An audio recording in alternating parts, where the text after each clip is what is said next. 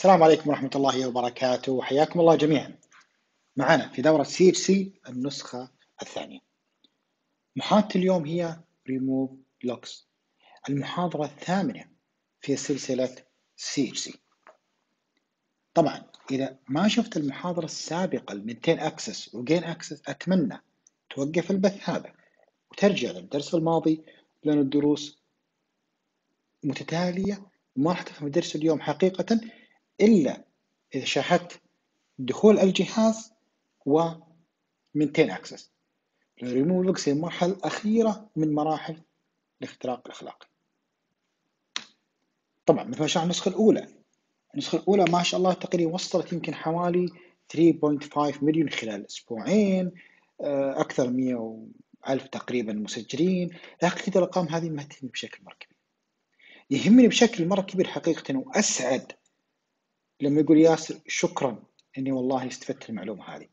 شكرا حقيقة إني قدرت آخذ الشهادة بناء عليها توظفت وظيفة فلانية.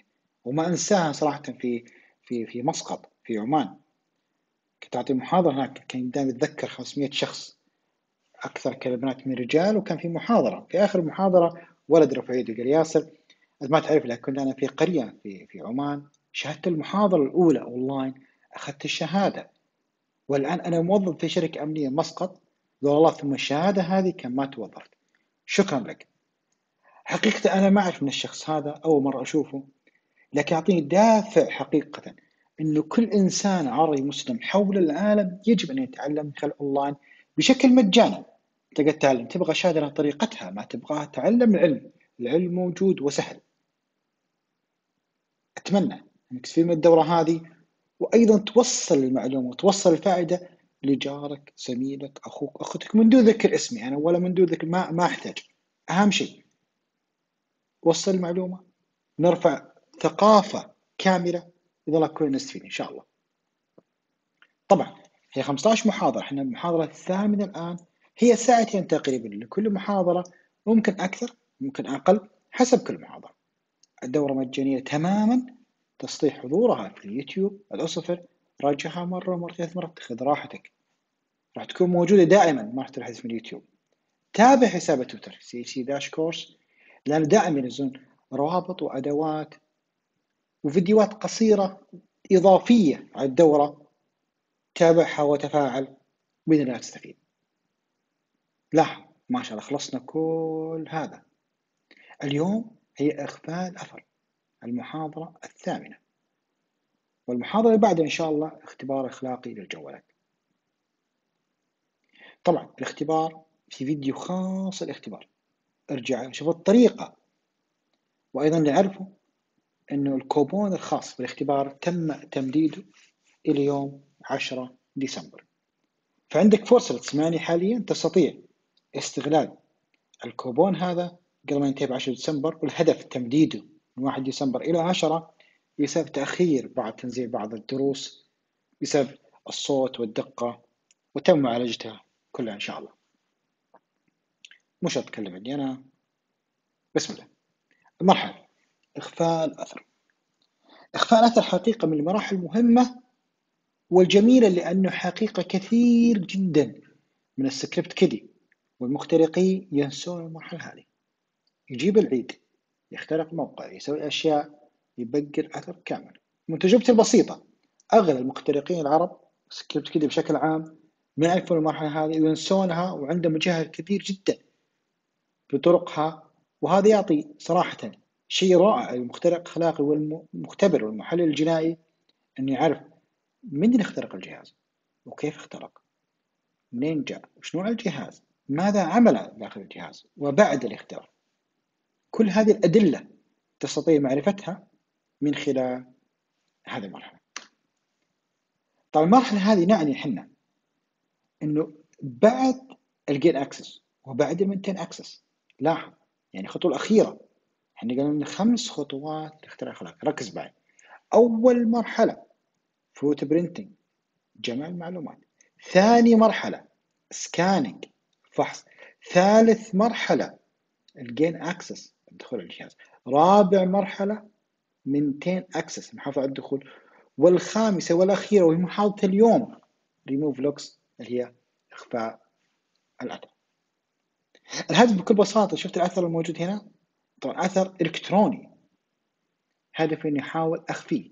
بعد دخول ناجح على النظام أو الجهاز أو ترك صحة المدير يعمل المخترق على إخفاء أثر النظام حتى لا يتم الكشف عن تحركاته في النظام. طبعا في المرحلة هذه يمكن أمسح ال log السجلات clear كامل أحذفها كامل أو الأجمل والأذكى حقيقة اللي هو التلاعب بالسجلات. وش يعني؟ أنا عندي log حدث ما في النظام عشان راح أشوفه قدامنا ترى الموضوع سهل.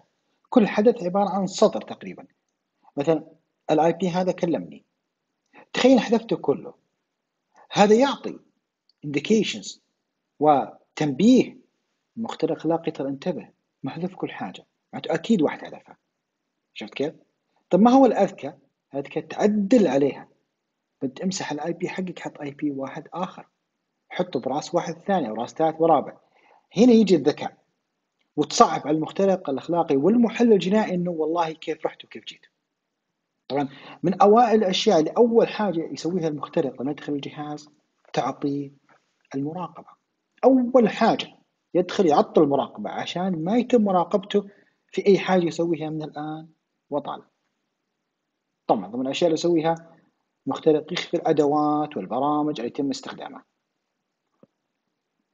طبعا إحنا عندنا في لينكس عادة عندنا var log هذا مجلد خاص في الأحداث. قبل كذا خل اسكرها صراحة ونفتح شرح بسيط. ودي أشرح لكم حاجة مهمة اللي هي وش معنى log أساسا؟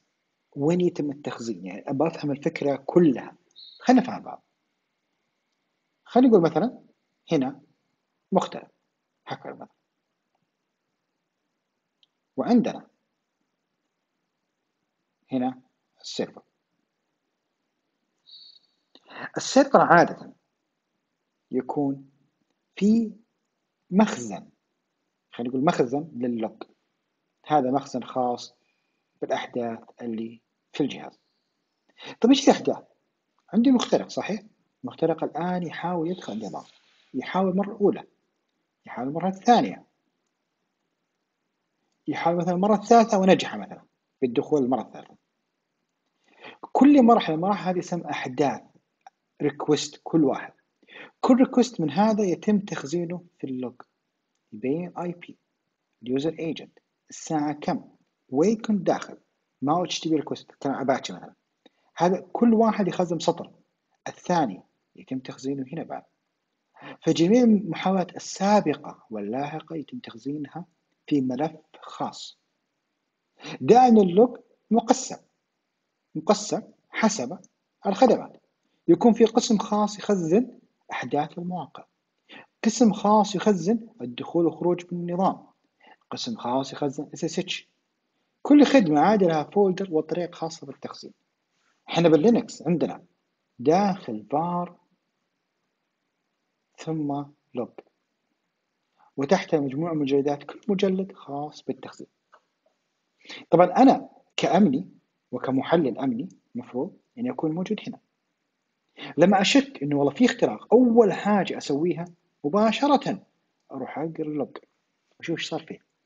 هنا تجي فائدة ال SIEM solution اللي تحاول تقرأ جميع ال log وتظهرها بشكل جميل وبسيط.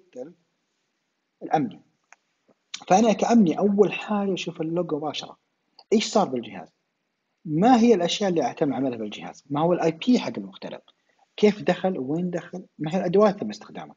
كلها من ال log بس ممكن يجي المخترق ذكي يسوي delete لكل ال log clear كامل. حذف راح بعد شوية عشان كذا دائما المخترق أو الأمني بالأصح اسف الأمني وش يسوي عادة؟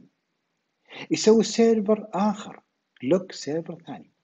يصير أي حاجة تنضاف هنا بال log نفس الوقت تروح تنضاف على ال server الآخر. وطبعا ال server هذا الأمني هو الوحيد اللي access فيه فما عندي مشكلة لو اخترق حدث هذا لا يستطيع يحذف النسخة هذه. النسخة هذه عندي أنا. فيكون عندي backup دائما لكل ال logs الموجودة. هذه طريقه ذكية وتستخدم المفروض ومستخدمة حقيقة في الكثير من الانظمه عشان كذا التحليل ال behavior السلوك هذا حق المخترق أيضا أنشأنا حاجة أخرى. في عندنا حاجة هنا نقدر نسويها نسميها honeypot ال honeypot هذا عنده ال high و low interaction يعني تفاصيل مختلفة.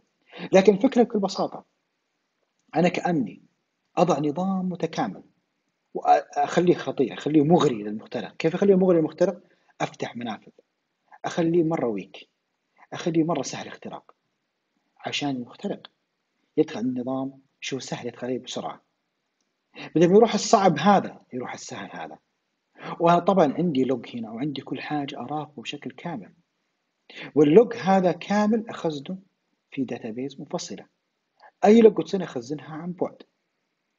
وأبدأ هنا حلل إيش؟ ال behavior حق المخترق كل حاجة سوى هنا من الدخول أدوات طريقة ال IP كل شيء سوى داخل كله خزانه behavior وهذه الطريقة حقيقة مستخدمة من قبل البرامج الأمنية زي ال Kasper وال Norton وغيرها. اسمه الطريقة لمعرفه ال behavior والسلوك حق المخترق هاي تقريبا كلها نشوف من فوق.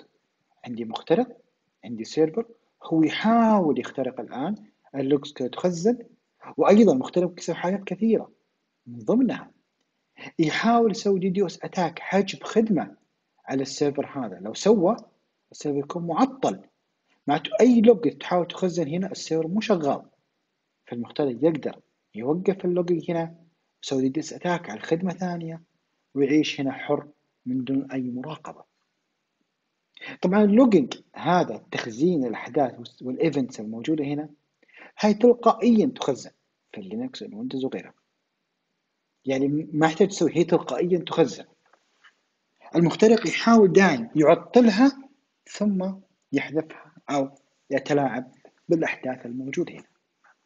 طبعا هذه موجودة بالأجهزة أما كان سيرفرات أو جهاز شخصي أو جوالات كل ال log كلها موجودة.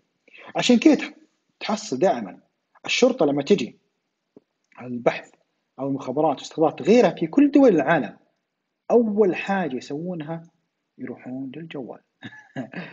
أو ال server على طول. يمسكون الجوال. لأن الجوال هذا فيه سر فيه كنز فيه event فيه log بالهبل. الجوال ما يكذب. أنت ممكن تكذب.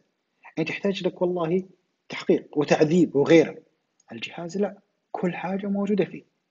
كل logs موجودة فيه.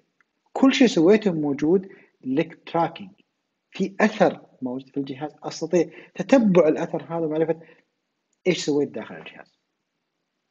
هذه تقريبا إيش معنى؟ ال logs بشكل عام. أتمنى كانت واضحة. طيب إذا فهمنا ال logs بشكل عام وين تخزن ياسر؟ في Linux. سهلة. تخزن بال var log variable هذه مجرد variable متغيرات عندنا ال log دخلها مجالات كثيره زي مسجز واباتشي وسيتش وغيرها كثير. يمكن المخترق يحتوي السجلات كلها.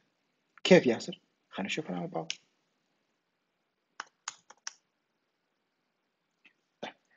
مثل ما قلنا اللوكس في لينكس في البار مثل نشوف عندنا هنا. لاحظ لكل مجلد وملف قيمة خاصة. يعني مثلا شو عندي هنا؟ هنا ملف الأباتشي فيخزن كل أي شيء في المواقع هنا. الماي سيكوال الداتابيز تخزن هنا. اثنتيكيشن حق دخول النظام موجود هنا. السامر موجود هنا. الفي بي ان فلاحظ كل القنوات الكلمة كل ملف خاص بتخزين لوج خاص فيه. خلينا مثال على اباتشي مثلا اللي هو خادم المواقع.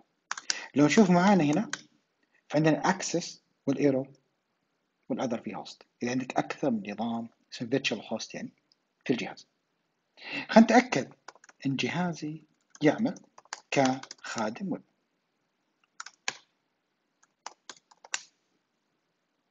نفتح Firefox طبعا ال IP المحلي ممتاز. لو تذكروها طبقناها في الهندسة الاجتماعية. يعني حذفنا ملف حطينا snapshot خليني أعدل معاكم عشان تشوفون أيضا الطريقة خلينا نقول نانو أو أقول ريمو آر إم. خلينا نحذف. طبعا إحنا قلنا www var www html index وخلينا نسوي ملف جديد نانو.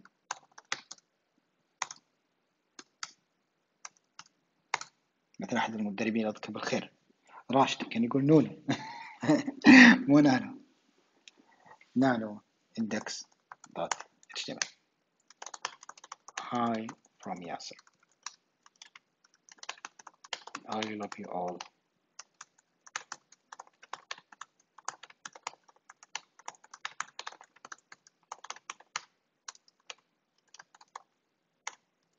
ممتاز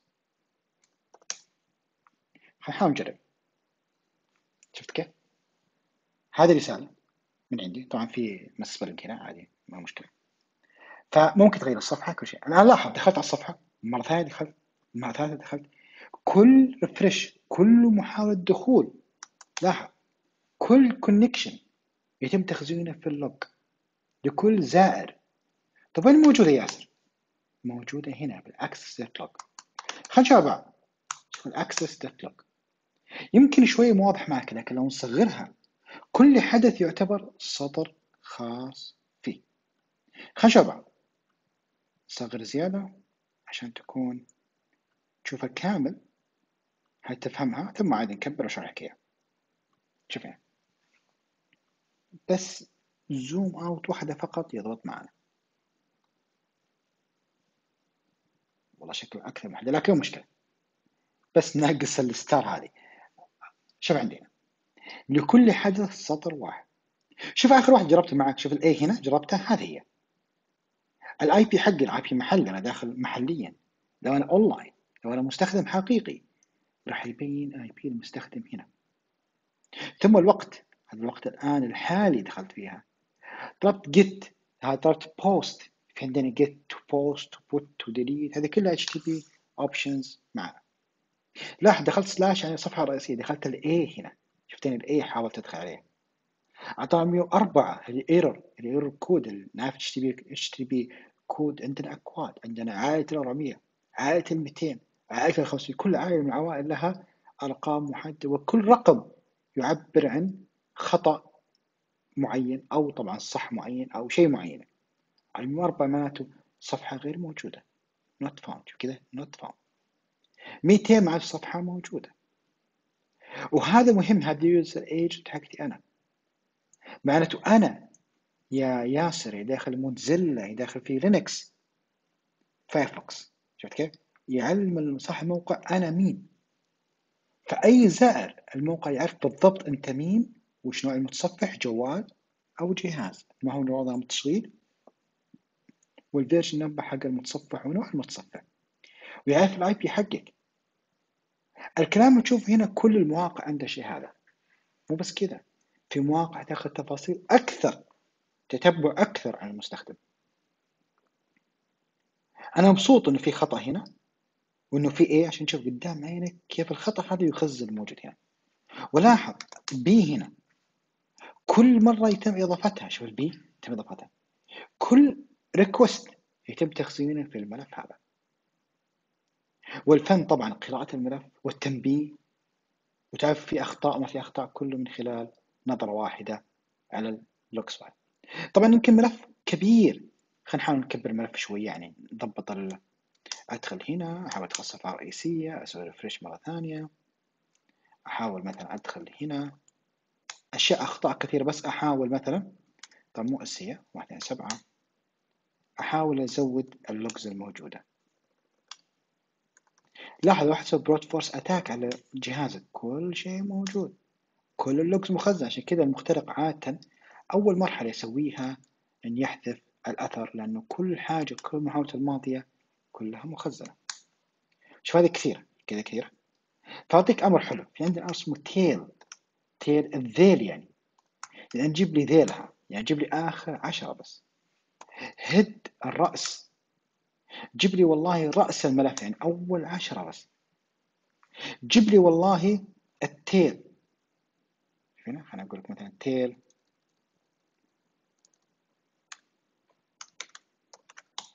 واحد. يعني جيب لي آخر سطر. n واحد. قلت له آخر سطر في الملف. جاب لي إياه. فأصلت تشغيل الأمر هذا يعطيني آخر سطر بس. آخر حدث ما هو؟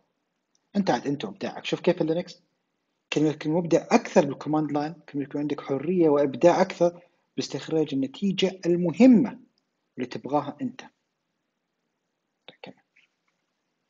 في عندنا حاجة event viewer هذا في ال Windows طبعا. الآن يسمعني روح start اكتب event viewer يطلع لك قائمة زي كذا. يبين كل شيء في النظام. ال error والأخطاء والدخول والخروج كل حاجة موجودة هنا.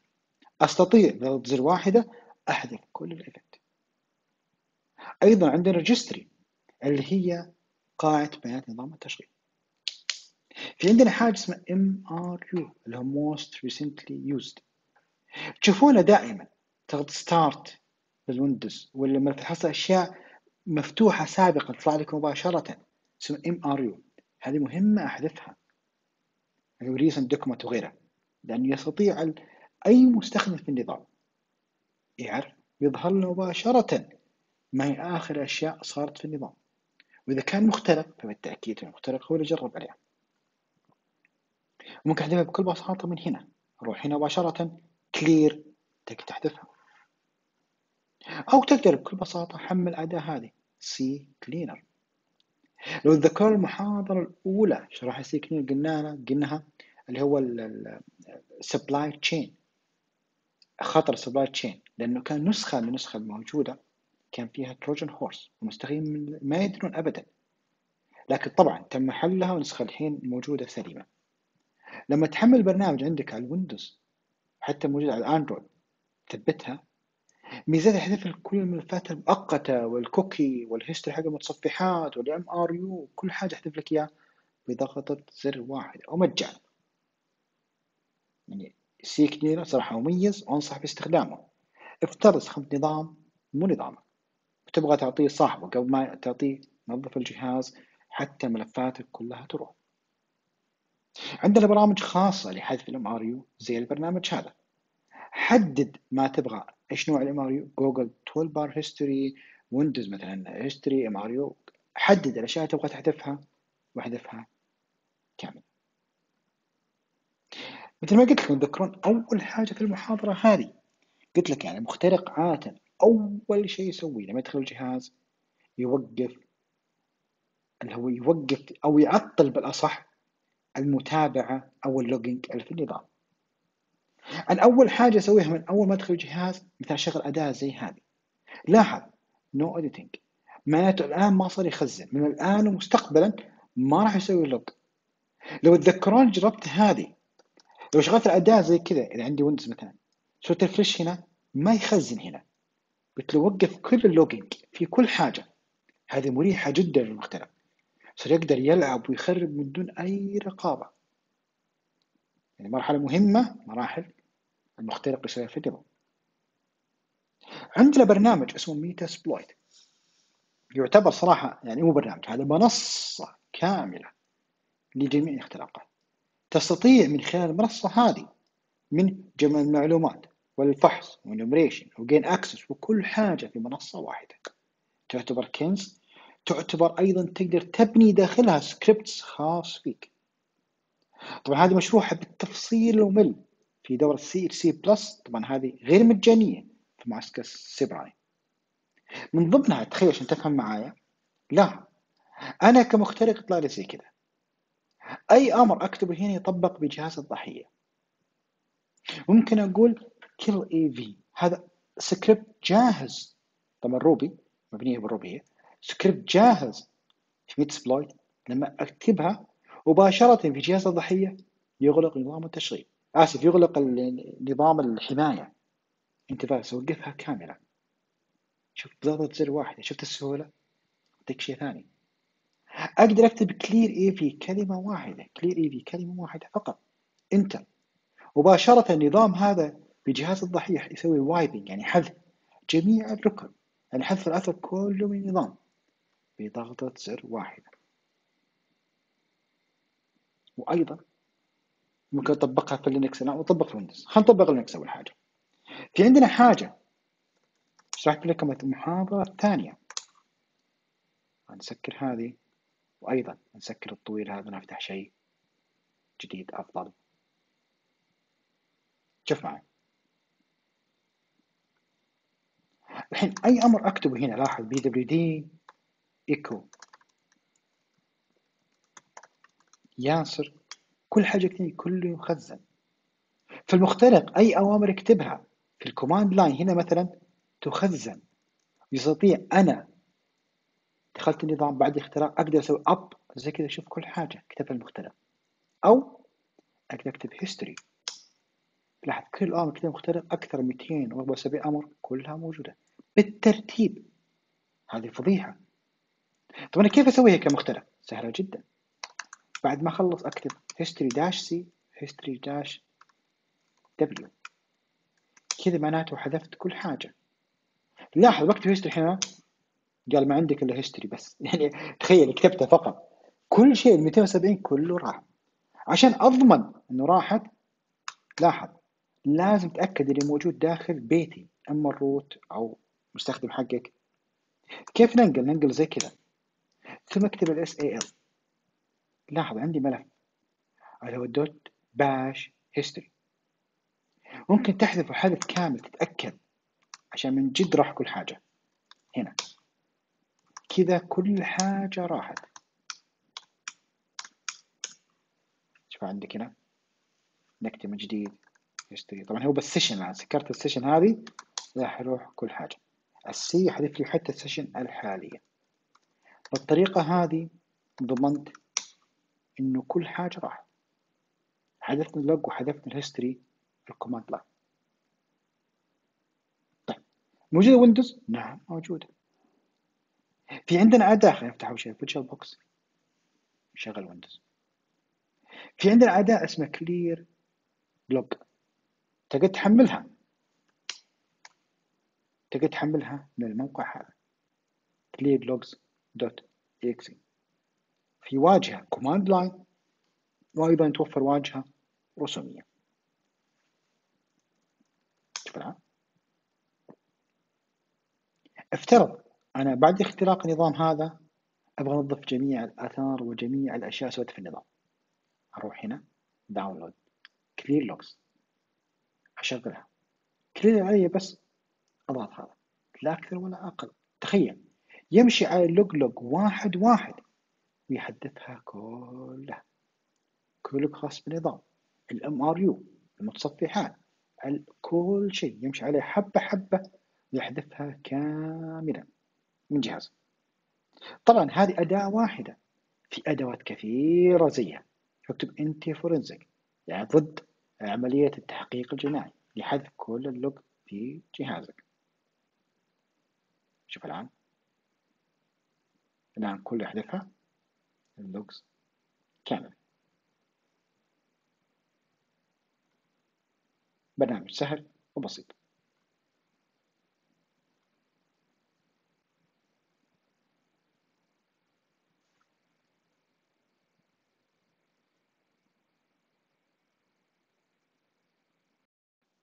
طيب خلينا ننتقل لموضوع آخر. عندنا موضوع خلينا ننتقل لموضوع ثاني. عندنا موضوع encryption موضوع التشفير. وهو موضوع مهم حقيقة جدا في موضوع الريموف لوكس حذف الأثر والأمن السيبراني كله بشكل عام. مثل ما شرحنا سابقا في المحاضرة السابقة عندنا ملف قبل التشفير plain text أو clear text. بعد التشفير نسميه cipher text. عملية التشفير نسميه إحنا encryption. فك تشفير decryption. طبعا هذا ال symmetric encryption أول نوع من encryption هو يستخدم نفس ال key نفس المفتاح شوف نفس اللون نفس المفتاح. نفس المفتاح ال encryption نفس تماما لل decryption من غير المفتاح لا يمكن عمل ال decryption ولا يمكن عمل ال encryption لها خوارزمياتها الخاصة والمختلفة. هذا أول نوع symmetric encryption. النوع الثاني asymmetric. لاحظ عندنا public key private key. طبعا يمكن عن طريق برامج تنشئها لازم مع بعض. يعني لازم ينشئ مع بعض ال public و private يعني هذا حق هذا. لا يمكن أخذ public حق محمد مع private أحمد. لا يمكن. فال public يساعدنا في موضوع ال encryption لاحظ plain text ثم cipher text بال encryption أستخدم public key أما ال decryption فتح ملف استخدم private key أو secret key حق المستخدم. فدائما ال asymmetric عندي مفتاحين symmetric مفتاح واحد فقط. عندنا مفهوم مهم اسمه GAK Government Access to Keys. المفهوم هذا يشرح بكل بساطة. في دول كثيرة جدا تقول أنا ما عندي مشكلة. أفترض أنا ياسر برنامج اسمه ياسر واتساب. ما عندي مشكلة ياسر. تعال وشغل برنامجك عندي في الدولة لكن بشرط واحد. أعطيني مفتاح الانكربشن. حتى لو احتجت أشوف أي بيانات اللي عندي ما أروح أطلب منك. أنا بنفسي أستخدم مفتاح وأفتح الملفات المشفرة وأقرأ الرسائل والصور والمحادثات وكل حاجة. وكثير من الشركات أيضا تسمح وتعطي الحكومات مفاتيح التشفير الخاصة في نظامها. حتى على الأقل يسمحون أنهم يشتغلون في الدولة هذه. عندنا مفهوم ثاني اسمه الهاشنج شاب التفصيل المحاضرة الماضية اللي هو يعني one way encryption. يعني مثلا عندي الكلام هذا أشفره بالطريقة هذه. one way encryption. دائما MD5 هاش وعندنا MD هو نوع انكربشن عندي MD4 MD5 وغيرها. MD5 عادة 32 حرف. يستخدم عادة لحفظ كلمة المرور بشكل آمن متى ما تعلمنا نستخدم salt ملح معاها حتكون صعب فتحها. طبعا نستخدم MD5 سم. MD5 سم ممكن تستخدم في الملف زي كذا أو بالنصوص. شرح النصوص راح نعيدها مرة ثانية. يعني شوف الآن معانا. خشوا بعض. أول حاجة هنسوي ملف أسميه ياسر. هذا الملف. أقول md5 sum ياسر. يعني هذا ال hash حق ياسر. ما إحنا شرحنا موضوع ال integrity يعني هذه قيمة ال hash بمحتويات وشكل ياسر الآن. لو تم تعديل على ياسر لو حرف واحد فقط يتم تغيير كل شيء. شوف زودت A بس لاحظ. شوف الآن مرة ثانية. تغير. شوف سبعة F كان وشو؟ اثنين سبعة E ممكن. أيضا اشفر النصوص. إيكو طبعا إيكو سي اتش سي لي سي اتش سي أحط عليها pipe واحطها MD 5 sum ونقدر نحذف هذا ما شرحنا بال tr يحذف لي أي حاجة أبغاها. هذا الحين هو الهاش حق سي اتش سي يا هل في طريقة ثانية؟ نعم لا تشيل هم. موجود طرق كثيرة جدا جدا. MD 5 اونلاين مثلا معلش كنت أحفظ مقطع. مثلا عندنا CHC الحين. شوف هذه قيمة CHC لاحظ ضيف الملح هنا الملح اسمه 1 2 3 شوف القيمة هذه نهايتها 180 شوف الملح 1 2 3 شوف الحين تغير. شوف كيف صار. E 5 2 فبالطريقة هاي تقدر تشفر MD 5 hash وتضيف له salt وغيرها كله اونلاين أو بال command line بالويندوز أو اللينكس ولا أي مكان. طيب خلينا نكمل. هذه MD 5 sum طبعا في غيرها. للويندوز اسمها دي 5 سم واجهة رسومية. تستطيع اختيار أي ملف عندك في الويندوز. من هنا مثلا أو من من زر يمين يبين لك ال hash الخاص فيه. وتقدر تقارن بال hash الثاني. طيب ما هي الفائدة ياسر؟ أنا أقول لك الفائدة. هل لاحظت عادة لما تحمل كالي مثلا؟ شوف عندنا هنا. يجيب ال hash حق كالي. فالمفروض لما أحمل النسخة هذه آسف لما أحمل النسخة هذه الآيزو مثلا أشوف الهاش حقها وأقارب مع هذا. لو في حرف واحد متغير إيش يعني ياسر؟ يعني ممكن التحميل خطأ أو ممكن المصيبة إنه فيها تروجن أو فيها فيروس أو فيها حاجة مو من الشركة. فمباشرة ما أشغل أبدا وأحملها من جديد. هذه فات الهاش تكون موجودة. يوجد أمر في الأوبنتو بعطيك إياه بعطيك مسابقة ولا لكن زيادة الخير خيرين. أمر جاهز تقدر أي وقت تشوف الأمر هذا. اوبونتو مسهل لك إياه. لاحظ لما تحمل هنا ملف. شوف هنا. أنا بفتح بعد شوية. هنا. يقول إيكو طباعة. هذا ال hash من اوبونتو يعني هذا ال hash نفسه. هذا الملف اللي حملته. سوى pipe يعني مرر هذه مررها إلى SHA sum هنا. وقال 256 سوى check لو جاك كذا okay معناته أمورك okay. معناته هذا ال hash match ويوافق ال hash المحمل في جهازك. طبعا هذه مو شرط الاوبنتو تقدر تنسخ هذه وتطبقها مع أي برنامج ما. فقط ضع ال hash المطلوب هنا. حط اسم البرنامج المطلوب وغير نوع الخوارزمية الخاصة بال hash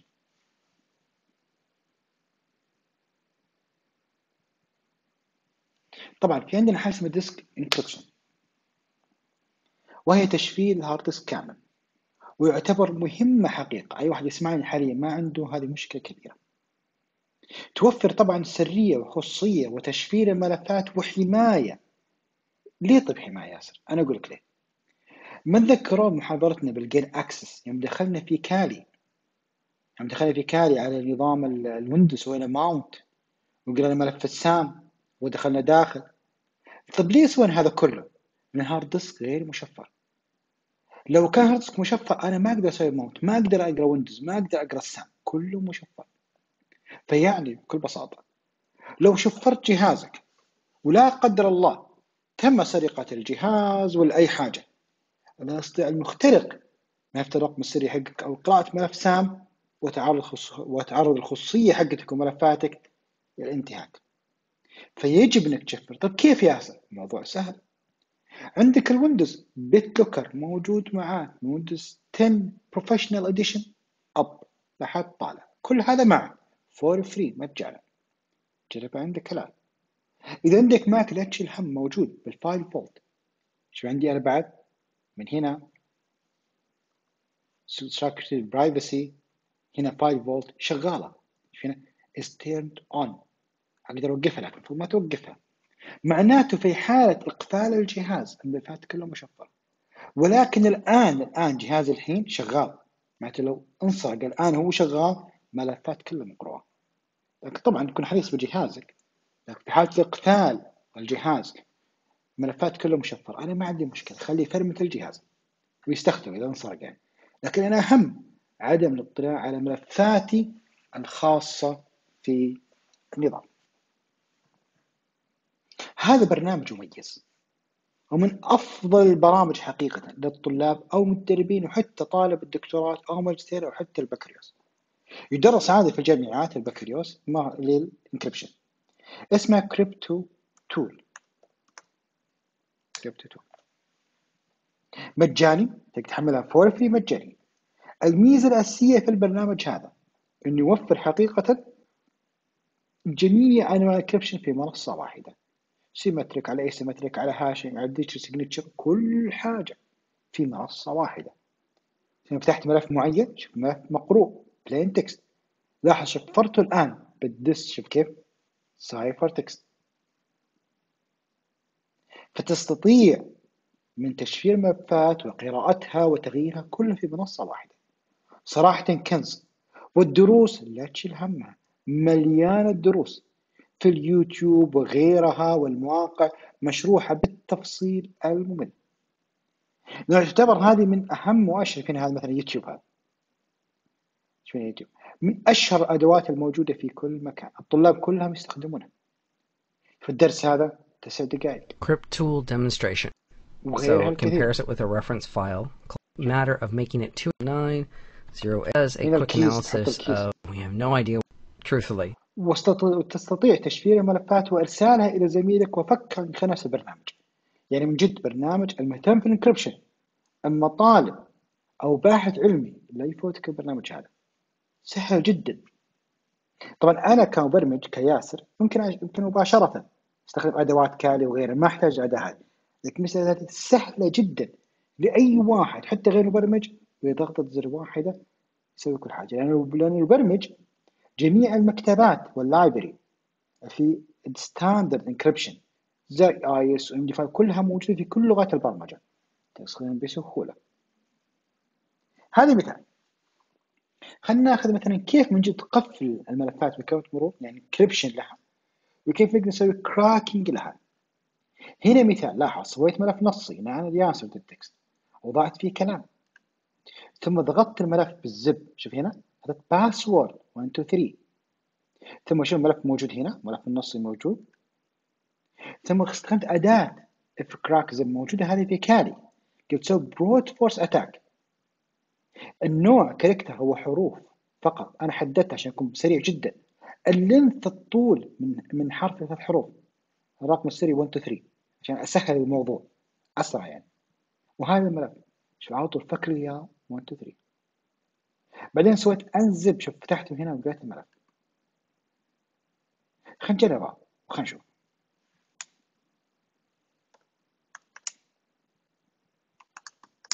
شوف معي.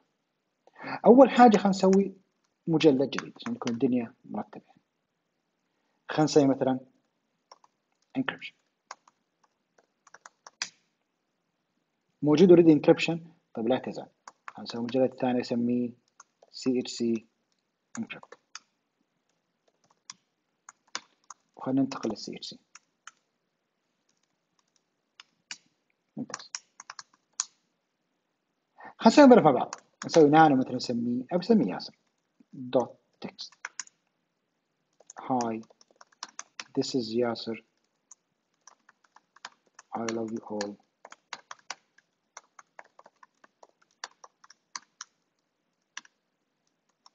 ممتاز.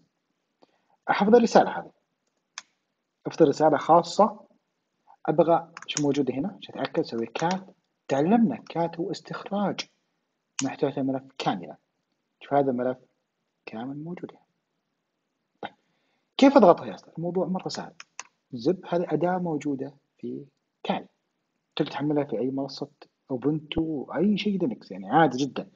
شوف أي أشياء أشرحه الآن ترى ماشي على كل أنظمة اللينكس وليس يعني مو بشرط كالي أي توزيعة من توزيعات اللينكس داش داش باسورد وانتظر والله سميها مو ياسر خلينا نقول مثلا سي اتش سي دوت زب من ملف اسمه ياسر تكست يعني ما في المخرج اسمه سي اتش سي وحاول تأرشف أو أضغط الملف هذا.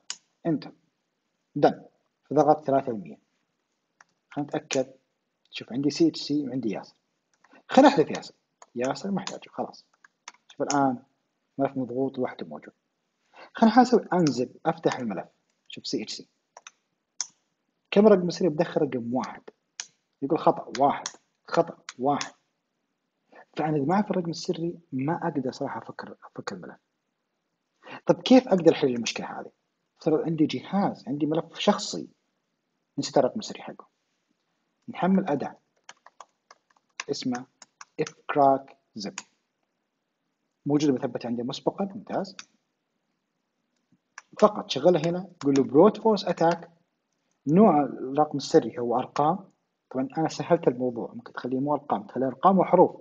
حروف صغيرة حروف كبيرة علامات خاصة زي ات وغيره كلها تكتبها هنا. أنا بس من نوع من السرعة كتبت فقط أرقام لأني عارف إنه فقط أرقام. أنت عارف الرقم السري أرقام فقط اكتب أرقام. عارف حروف اكتب حروف فقط لأن بروت فورس اتاك معناته يجرب واحد بعدين اثنين بعدين ثلاثة يجرب زي كذا كثير جدا. طوله ثلاث خانات من واحد إلى ثلاث قد يكون رقم سري واحد أو قد يكون اثنين أو قد يكون ثلاثة. بحالتنا ثلاثة يعني قلت له جرب من خانة إلى ثلاث خانات. آخر حاجة ضغط مضغوط شوف الآن بضغط أنت أبيك تحسب. شوف الحين. مباشرة فضحني ما جاب الرقم السري في خطأ هنا. عاد شوف إيش المشكلة؟ آه بس أوكي باسورد سي سي زب أوكي. يمكن شفرته بطريقة خاطئة خلينا نشوف الأمر حقنا. ما في مشكلة بسيطة. باسورد 1 2 3 سي اتش سي زب ياشر تكست زب 1 تحتاج باسورد أوكي تمام. كله مضبوط. طيب. اف كراك زب نقول بورت فورس أتاك كاركتر حرف واحد الطول واحد ثلاثة مضبوط. شوف هنا. كراك زب بورت فورس أتاك كاركتر نفسها اللينك. أوكي أنا آسف. شفت كيف عشان كذا لازم تجرب. داش وتتأكد. أنا قلت له أوكي فكري لكن ما حددت هذا الاوبشنز اليو هو يحدد إيش تبغى ملف بالضبط تسوي ديكريبشن عليه. أو تسوي بروت فورس اتاك عليه بالاصح شوف الآن. ركز معي. الله ما نفضح يضبط معنا ركز. شفت كيف؟ السرعة؟ وجدت الضغط مباشرة جاب الرقم السري سريع جدا. قال الرقم السري ما تدري. طيب خلينا نتأكد. أسوي انزل للفايل سي اتش سي 1 2 3 فك معي. شوف الآن. قبل شوية بس سي اتش سي ما في ياسر. حذفته أنا. خلينا نتأكد الملف موجود ولا محذوف. شوف كل شيء موجود النص موجود. كيف الموضوع سهل؟ هذا الميز لك تطبقه معك حقيقة. في الأنظمة اللي عندك ملفات مضغوطة ناس الرقم السري حقها وغيرها الكثير. طيب خلينا ننتقل لموضوع أخير في المحاضرة هذه اللي هي بي دي اوس اتاك اللي هي حجم الخدمة. خلينا ناخذ أول حاجة دي اوس denied of service attack. الفكرة بكل بساطة تخيل معي ناس كثير جدا تحاول يدخلوا الموقع حقي. أنا بالنهاية ما أعرف يدخل معي هل هو شخص سليم أو غير سليم؟ يعني بكل بساطة خلينا نرسمها هنا. تخيل معي. افترض أنا عندي موقع. وعندي مستخدم طبيعي. مستخدم طبيعي. ولكن المشكلة عندي هنا مخترقين بوت نت كاملة. عندي واحد وعندي اثنين وعندي ثلاثة.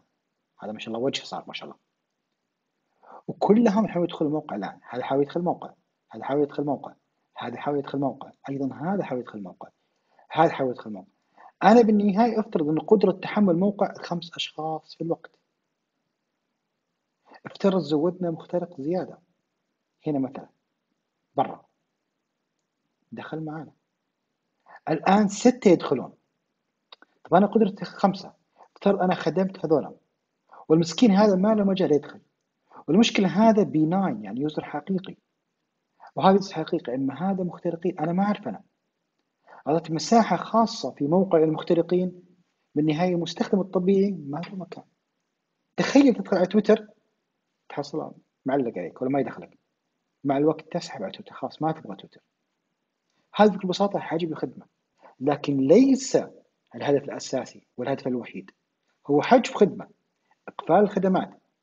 يمكن تعطب خدمة وبعدين ما تصير لوجن وتصير اختراق بعدها. يمكن يكون أثناء الاختراق حتى تشتت التحقيق الجنائي في أكثر من طريقة وأكثر من هدف. فهي عبارة عن هجوم منظم على شبكة معينة هدف أنك تبطئ النظام أو أنك تقتل النظام كاملا. فزي كذا. عندي مستخدم عادي وثلاث مخترقين. دخل مثلا على سويتش في شبكة وعندي إيميل سيرفر ويب سيرفر داتابيس سيرفر. أنا كأمني هنا أنا موظف موجود هنا. كيف أعرف إنه والله هذا مخترق جاء اتصال منه وهذا مخترق أو هذا طبيعي؟ هذه تشالنج أو مشكلة كبيرة جدا. تواجه أغلب أصحاب المواقع أو البرامج وغيرها. عندنا مفهوم ثاني. لاحظ هنا قلنا دي أو اس لاحظ دي أو اس denial of service attack. هنا لا distributed denial of service يعني دي دي أو اس الزيادة دي معناته عندي مجموعة كبيرة من الناس أو المخترقين. هنسميه إحنا بوت نت طب ما هو الخطر ياسر؟ الخطر بسيط تعطيل الشبكة مصيبة. تخيل خسارة ما تخيل نوقف البنك خمس دقائق ما يشتغل موقع البنك. شوف كم الخسائر الكبيرة تخيل وقف أبشر مثلا ساعة ولا غيرها شوف المشاكل تصير من وراها. السمعة. تخيل موقع تويتر ولا سناب كل مرة معلق كل مرة معلق كل مرة معلق. خلاص السمعة صارت مي كويسة عند الناس. صارت تروح عند البدائل المنافسين وتخلي موقع سناب شات أو تويتر. ممكن تعطل مؤسسة أو شركة كاملة عن العمل بسبب أنه والله الإيميل لا يعمل أو الموقع لا يعمل. مشاكل حقيقية واقعية. أعطيك قصة ثانية. أحد زملائي. دكتور مدير تقنية معلومات في أحد الجامعات. من دون ذكر أسماء يقول ياسر عندهم طالب مسوي له مشكلة كبيرة. الطالب هذا هذا موقع الجامعة طبعا. وهنا الطالب student هذا موقع الجامعة university موجود هنا. يقول الطالب هذا مشكلة. كل ما تنزل الدرجات. ما تعجب الدرجات؟ يسوي ديدوس اتاك على موقع الجامعة. موقع الجامعة يطيح.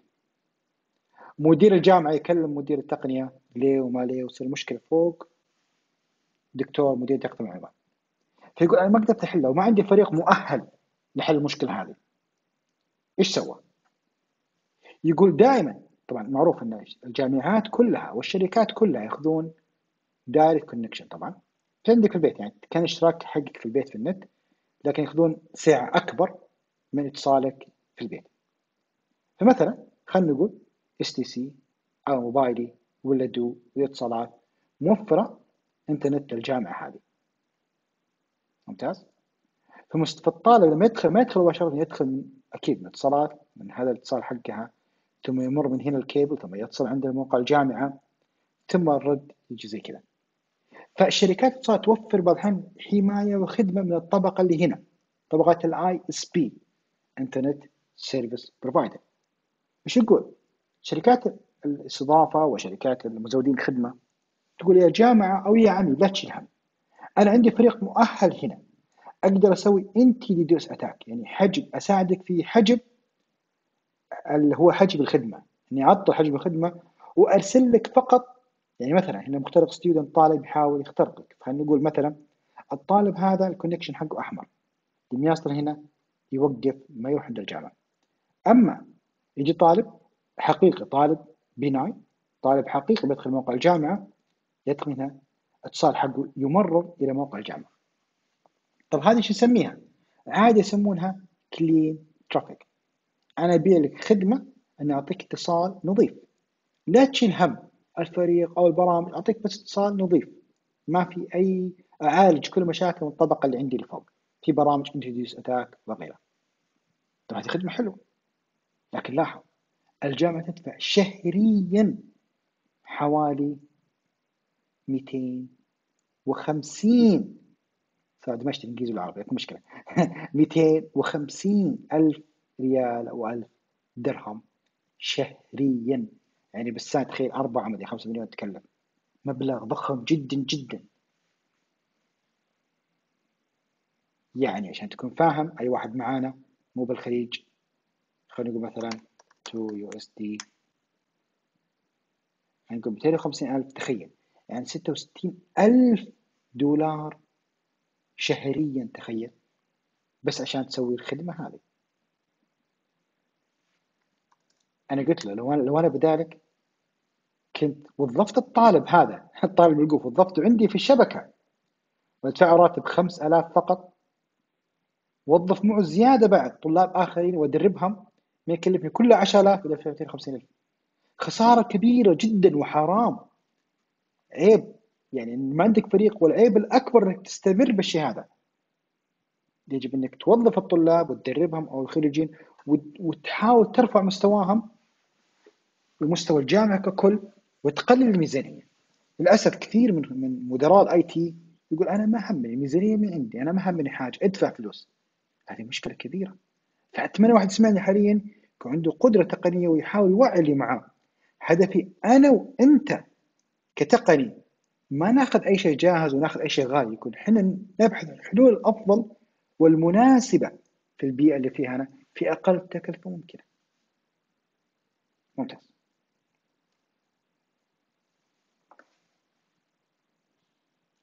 مثل ما قلنا في عندنا حاجة اسمها botnet.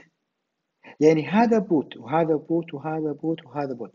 كلها مثلا botnet هي حلقة أو مجموعة الضحايا حقتي أنا.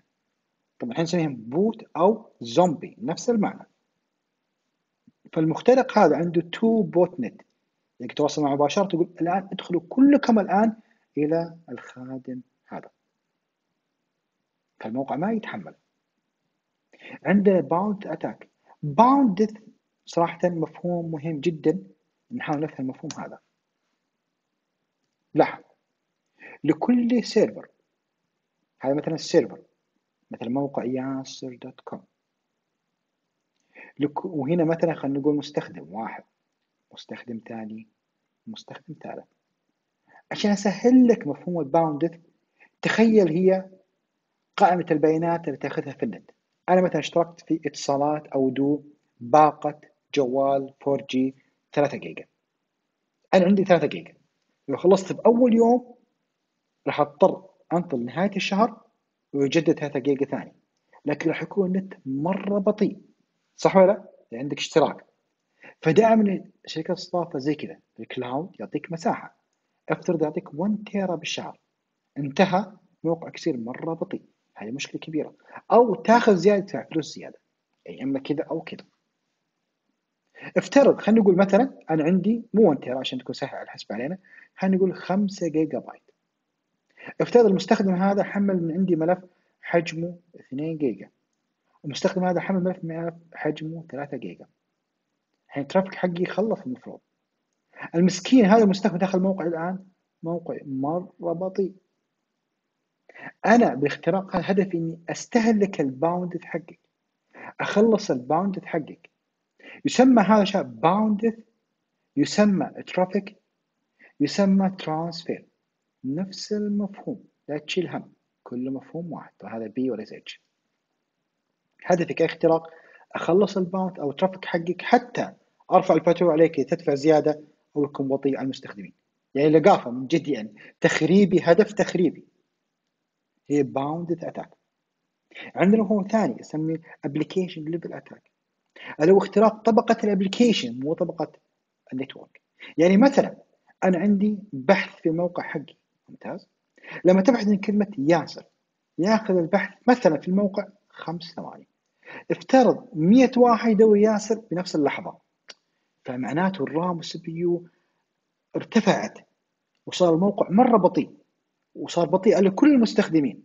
سويت أنا attack وحجب خدمة لل application layer database وليس الشبكة وليس الجهاز. هنا application level flood attack وعندنا أيضا network level attack عندنا ال SYN flooding هل تذكرون يوم شرحنا ب scanning SYN و SYN ACK و ACK هنا ما يسوي ال SYN و SYN ACK و ACK يسوي بس SYN SYN SYN يفتح ال connection بس معاك. فيعبي ال connection بال server حتى لو جاء مستخدم حقيقي benign user حيدخل على الموقع ويقول الموقع مشغول. المو... ما أقدر أعطي connection ومن مستهلك كل ال connection bot برامج fakes كلها. نسمي هذا SYN flooding attack زي كذا راح ال SYN و SYN ACK لا بس SYN SYN SYN يعبي ال connection بسرعة. وتخيل في أدوات بالدقيقة ترسل مئات آلاف ال connection هذه مشكلة كبيرة. مثل ما قلنا ال botnet هي عبارة عن مجموعة من ال bots والبرامج تتحكم فيها آليا عن بعد. زي كذا لاحظ bot bot bot bot bot. يعني جهاز واحد أنا جهاز ثاني وكلنا إحنا botnet. والمخترق هنا يتحكم فيهم عن بعد. يعني مخترق موجود هنا يرسل أمر يقول كلكم الآن ادخلوا على موقع ياسر. طبعا كل ال background المستخدم لا يعلم. وهذا خطيرة جدا. كل الناس يقول ياسر أنا جهازي آمن مخترق. إيش دراك ممكن جهازك مخترق لكن المخترق ما يبغى يفضح نفسه. يبغى كل شيء background يرسل ويخترق. background وانت لا تعلم زي كذا لاحظ. ذكرون C and C command and control server أخذناه في أول محاضرة. عندي مخترق لاحظ.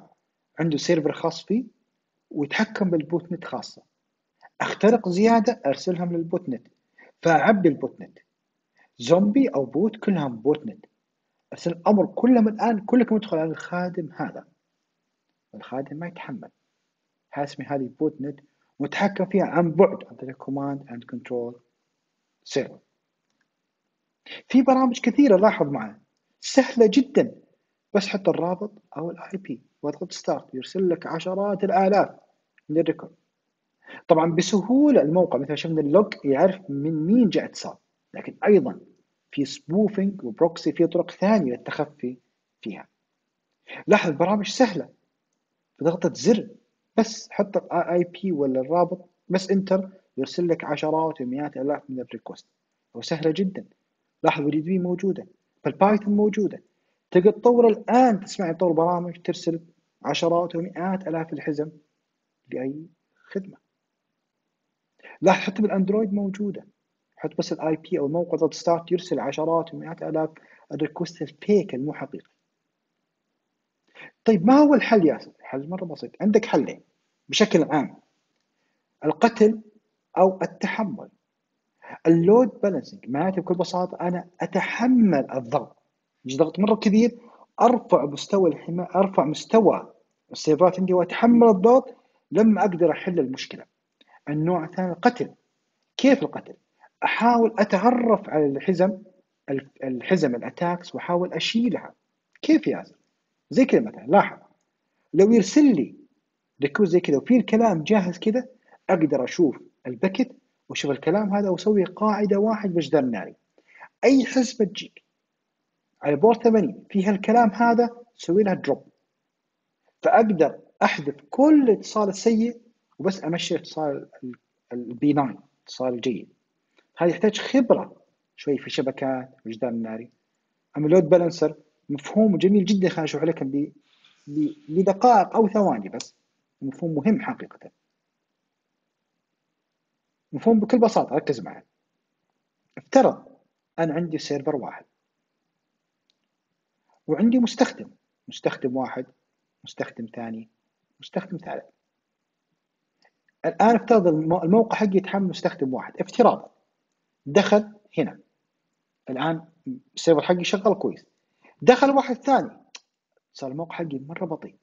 طب ما هو الحل ياسر؟ الحل اخترعنا حاجة اسمه load balancer تحطه هنا. LB load balancer حطه هنا. بال background زود السيرفرات. عندك واحد؟ لا. حط اثنين. حط ثلاثة. حط أربعة.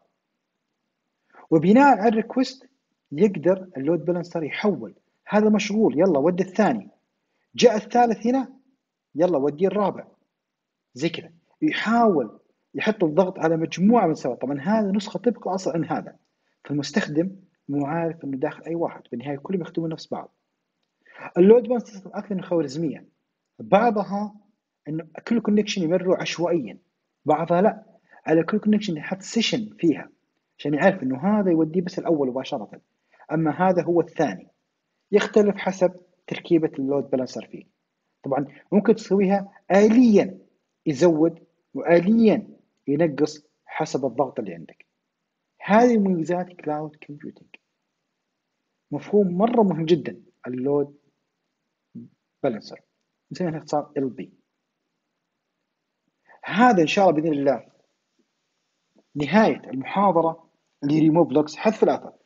أتمنى كانت محاضرة بسيطة مفيدة وطبقنا أكثر من حاجة.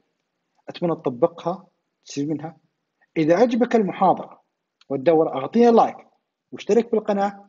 ولا تنسانا من التعليقات والمشاركه وشكرا جزيلا. ولا تنسون من حسن دعائكم ننتظركم في المحاضرة القادمة. وفي أمان الله. مع السلامة.